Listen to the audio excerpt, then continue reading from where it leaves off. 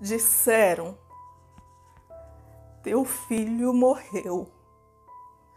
E foi como se despissem o meu corpo da minha pele, me arrancassem todas as unhas das mãos e dos pés, arrancassem os cabelos da minha cabeça aos tufos junto com pedaços do couro cabeludo arrancassem todos os meus dentes de uma só vez, separassem a minha carne dos ossos e os quebrassem em incontáveis pedaços, e depois moessem até restar somente um pó que eu não consigo definir a cor.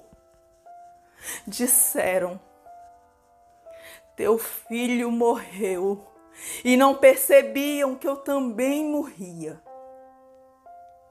Todas as noites eu ressuscitava enquanto dormia, e no outro dia despertava e de novo morria.